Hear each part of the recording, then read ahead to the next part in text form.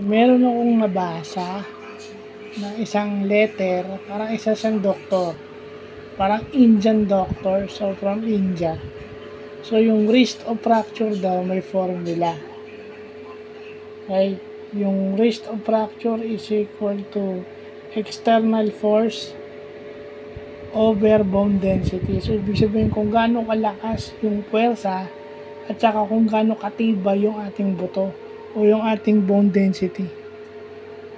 So, kailangan siguro kumain tayo ng maraming calcium para tumibay yung buto natin. Pero kahit matibay yung buto natin, depende pa rin sa puwersa.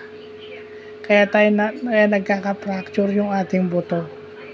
So yun, another medical vlog na naman. Ano? Sipin mo, may ano yung physics doon.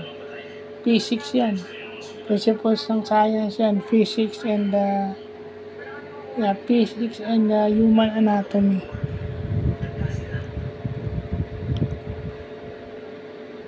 Alam naman natin, force is ano eh, measured in newtons or yung G, yung acceleration due to gravity na isa sa mga nagiging dahilan bakit tayo nagkaka-fracture.